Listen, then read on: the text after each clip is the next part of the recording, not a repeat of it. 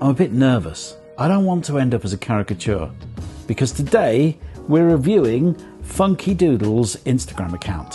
Hi, I'm Chris Goor and I help business owners create better personal brands online which actually turns into profits.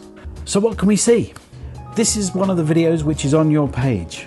It shows a big old time lapse of doing a caricature. One point to note here is we can't actually see the people you're drawing. As soon as I saw this video, I remember on YouTube Shorts I binged watched someone called Nina Sketch who does these amazing caricatures in Maui.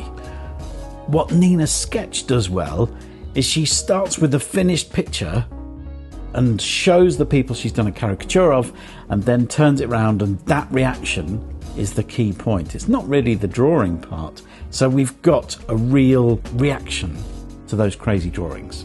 Now she's monetizing herself through the views of the videos. So the sketches get more bizarre and the reactions get bigger, but she's getting those views. So that's fine. But you need to work towards your journey of your business.